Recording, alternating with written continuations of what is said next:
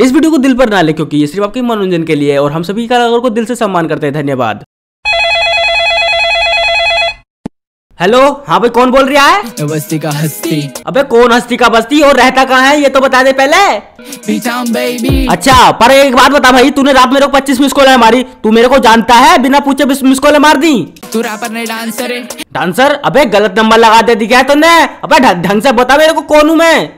शायद से एक्टर है हाँ भाई मैं एक्टर हूँ एक्टर हूँ सलमान खान का भतीजे का लोंडा का चच्चा का लोंडा यूँ में समझे ना? और वैसे न्यू बता फ़ोन काहे कर रहा है मेरे को? भाई आने दो पेटी।